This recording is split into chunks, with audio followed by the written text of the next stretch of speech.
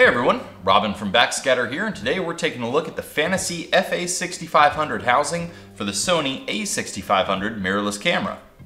The a6500 is one of the smallest and lightest mirrorless cameras out there right now, and it's our favorite crop sensor mirrorless camera when it comes to image quality. It has very fast autofocus speed, razor sharp images, and it shoots 4K video, making it one of our top mirrorless picks this year. For our comprehensive look at the camera, please see the review which is linked below in the video description. The A6500 has housings available from not only Fantasea, but also Ikelite, Nauticam, and Aquatica.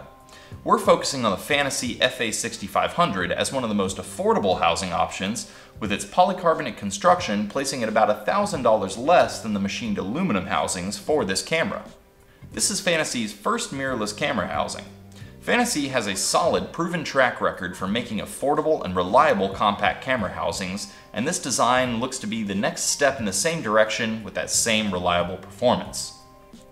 The housing itself is lightweight, yet still fairly rugged and durable, and it's depth rated to 200 feet. It offers access to all the essential controls and operation of the camera. It has a really ergonomic construction with a comfortable hand grip that feels great in my hand with a large front grip and a really pronounced thumb groove. It also includes an extendable shutter release if you're putting handles on the housing. This basically doubles the reach of the shutter and only takes one screw to install. When hand holding the housing, it's super easy to reach both the AF on button right next to the thumb groove and the shutter release. One cool feature of this housing is that it works with both the A6500 and the earlier model A6300. This housing includes a user installable adapter kit that's just a few pieces and is very simple to install all on your own. The housing also features an interchangeable port system which is new to Fantasea's line. There's no port included with the housing, you will need to purchase that separately.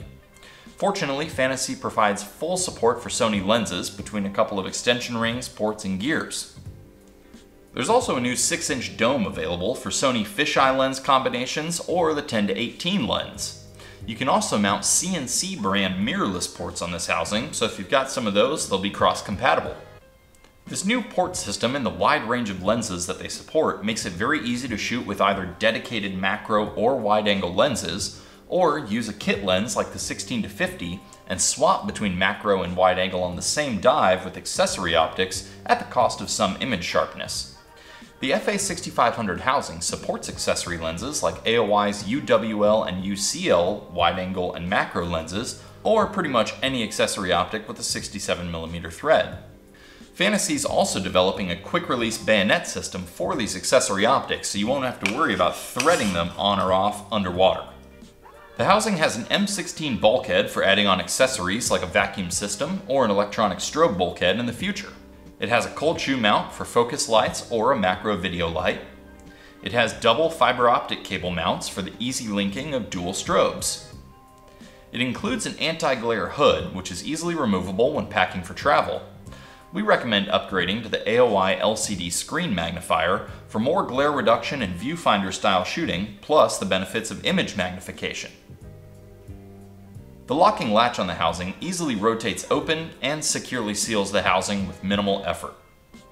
The double O-ring seal provides twice the peace of mind when it comes to maintaining housing integrity. A moisture detector is included, so if you do have a small leak, the alarm is going to give you a heads up on that.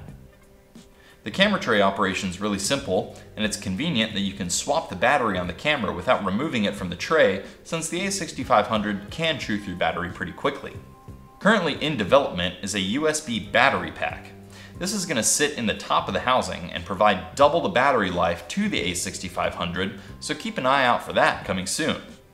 The housing is also compatible with the LED flash trigger, which is great for working around the TTL only in-camera flash, and it provides rapid-fire waterproof strobe connections.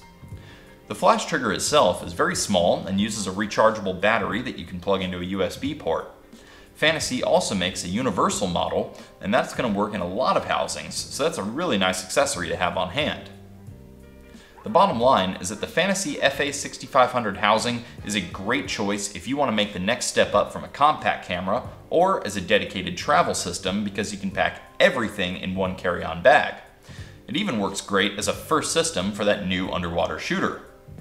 The a6500 has the top image quality among crop sensor mirrorless cameras, and you can shoot this like a compact camera with a kit lens and accessory optics, or shoot it like a pro with dedicated macro or wide angle lenses, ultimately making this a versatile system that really does fit the needs of pretty much any underwater shooter of any skill level.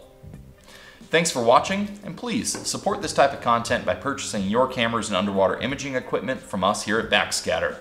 We have a world-class service center to support you after your purchase, and we offer free lifetime tech support. We dive, shoot, and service everything we sell. I'm Robin from Backscatter signing off, and happy shooting!